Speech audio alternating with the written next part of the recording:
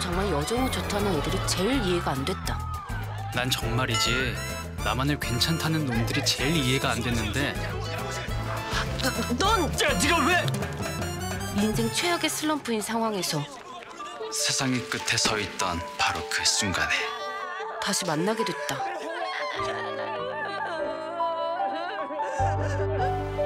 왜 너를 보면 안심이 될까 왜 너의 한마디에 마음이 놓일까? 내일 소개팅해.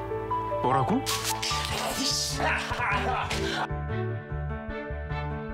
우리 요즘 왜 이럴까?